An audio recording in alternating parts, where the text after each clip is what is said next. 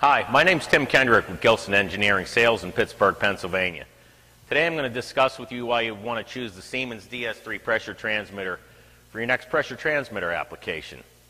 Siemens DS3 transmitter has three magnetically coupled push buttons up top for programming, so that you do not need a handheld or a laptop computer to do so. Now I'm going to take you through the modes of programming the Siemens DS3 transmitter. Mode 1 is the actual display.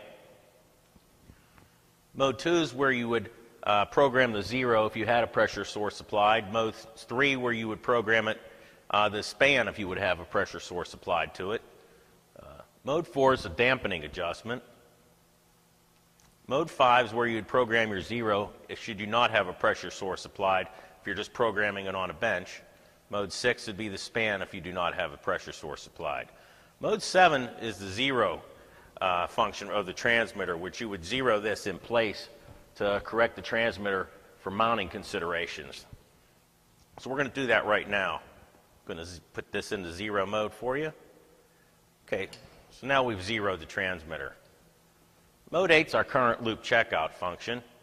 Mode 9 is the low or high level failsafe from milliamp value. Mode 10 is password protection. You can lock this transmitter out so that nobody can program it.